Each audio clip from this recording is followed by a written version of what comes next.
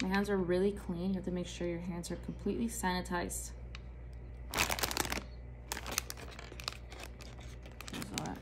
all around. Cleanser. That's it.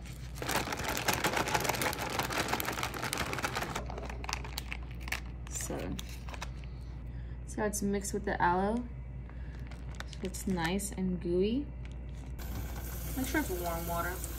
Now you have your very own sprout of soap and aloe vera, the best invention.